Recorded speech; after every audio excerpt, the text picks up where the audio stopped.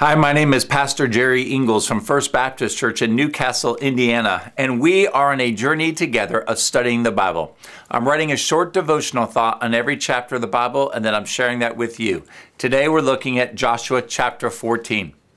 Are you willing to live wholeheartedly for God, even if you must wait a long time to receive God's reward for your faithfulness? After 45 years of waiting, Joshua 14, verses 13 to 14, was a significant moment in the life of Caleb. Caleb was the faithful spy who stood for God and received the promise to survive the 40 years of wilderness wanderings and to find rest in the inheritance of the promised land. And I quote, so Joshua blessed him and gave Hebron to Caleb, the son of Jephunneh, for an inheritance. Therefore Hebron became the inheritance of Caleb, the son of Jephunneh, the Kenizzite, until this day, because he followed the Lord God of Israel fully. Caleb was 40 years old when he was sent out to spy the land.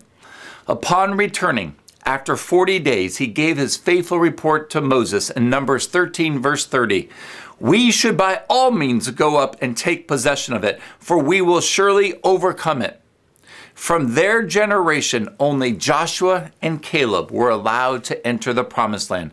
But even that promise took a long time to unfold, as Caleb reminded Joshua in Joshua 14, verses 10 to 12, when he made his request for God's promise to be honored. And I quote, Now behold, the Lord has let me live, just as he spoke these 45 years from the time that the Lord spoke this word to Moses when Israel walked in the wilderness. And now, behold, I am 85 years old today.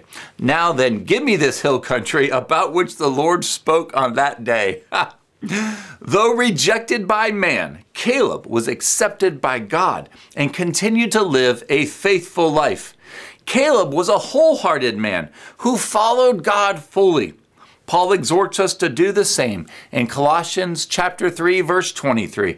Whatever you do, do your work heartily, as for the Lord rather than for men. Seize the moment and be a wholehearted person.